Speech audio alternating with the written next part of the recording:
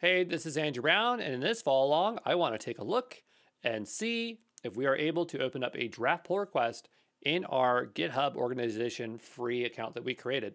So what I'm going to do is make a new repo because we're going to need to need we're going to need to have one in our um, our one here. And actually, you know what I'm going to do?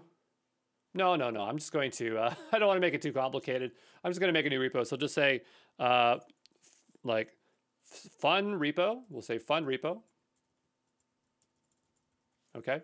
And this can be public. We're going to make it public so just in case we need to have that so we can have that functionality. Because a lot of times public allows us to have um, that paid functionality for free.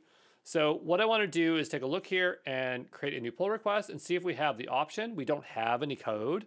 So we'll need to create ourselves a new branch. I'm going to just do that in here in the UI. And we'll just say uh, dev. And we'll create that branch.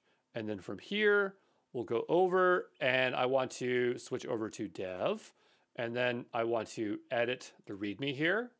And I'm just going to put in some exclamation marks. We're going to commit that change. Looks good to me.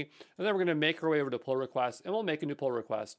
And what I want to know is if I can make a draft pull request. So we'll say create new pull request and we'll drop this down and there it is.